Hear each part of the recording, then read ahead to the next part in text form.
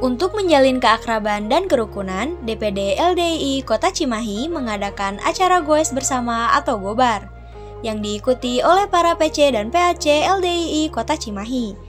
Acara tersebut dilaksanakan pada Minggu 27 Maret 2022.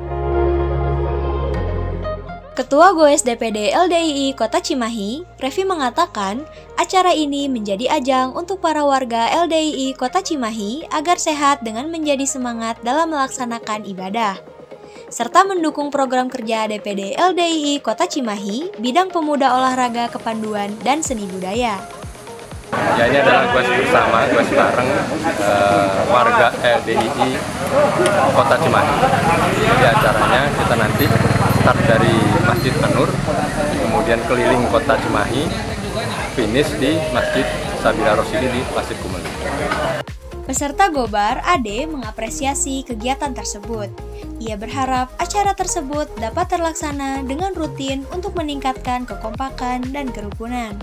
Kebetulan sekarang hari ini ada goes bareng uh, komunitas dari LDII. Alhamdulillah uh, saya merasa senang saya bangga dengan kekompakan eh, apa namanya teman-teman gue di LDI ini.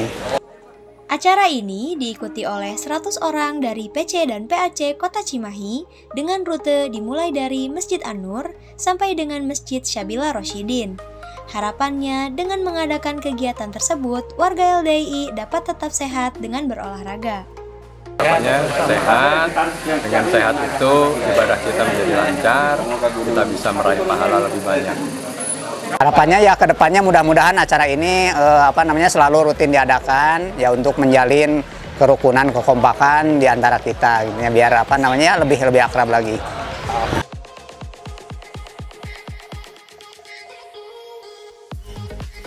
Untuk mendukung channel ini, jangan lupa like, komen, dan subscribe serta nyalakan lonceng notifikasi agar jadi orang pertama yang mendapat update video terbaru dari Lines TV. Tonton juga video lainnya ya. Alhamdulillahi jazakumullahu khairah.